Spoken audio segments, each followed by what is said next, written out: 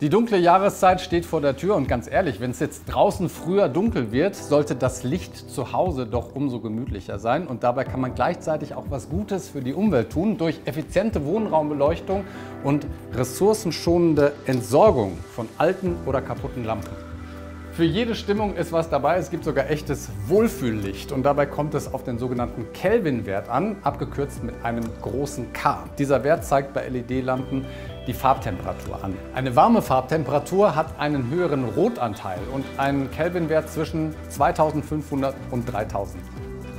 Eine weiße Farbtemperatur hingegen hat einen höheren Blauanteil und einen Kelvin-Wert zwischen 4000 und 6500.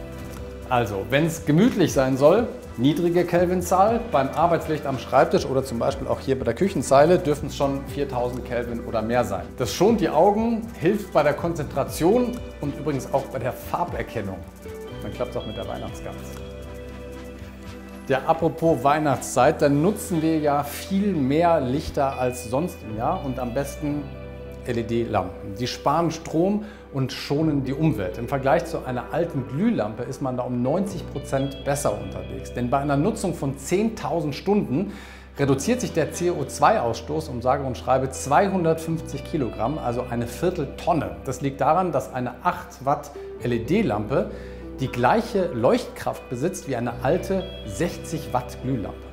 Außerdem sind hochwertige LED-Lampen besonders langlebig. Sie halten über 10.000 Stunden. Bei einer durchschnittlichen Nutzung von zweieinhalb Stunden pro Tag ist das über ein Jahrzehnt. Also Qualität kaufen, das reduziert die Abfallmenge. Aber das Wichtigste dabei ist die Entsorgung von Altlampen. Denn Lampen gehören nicht in den Hausmüll, sondern müssen zu einer Sammelstelle gebracht werden. Aber zum Glück ist die Entsorgung kostenfrei und ganz einfach. Unter sammelstellensuche.de gibt es tausende von Sammelstellen.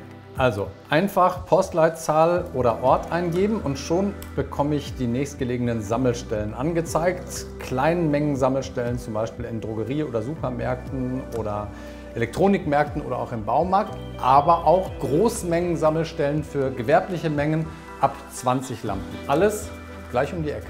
Perfekt. Ja, und da bekomme ich bestimmt auch gleich neue effiziente Lampen.